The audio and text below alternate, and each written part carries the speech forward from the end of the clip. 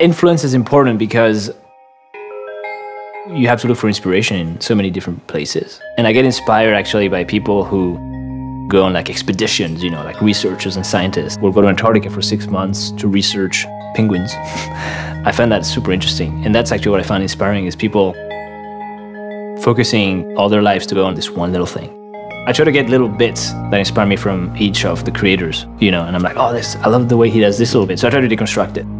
Yeah, I'm always looking for new things. It's very, it's very tiring process, but I'm always hungry for new things all the time. I feel, I feel really affected by geography. Uh, before I plan a trip, I'm like trying to pull up an old topo map or a new topo map, you know, topographic map that shows the lines of altitude and where the lakes are usually and peaks. So I start with this map and then just looking at it, ideas come, you know, like, all right, we could go from here to here and make this traverse that's likely gonna fail and then we're gonna get photos on the way. And for me, each geographical area goes with a certain style of photos. So the geography really inspires me.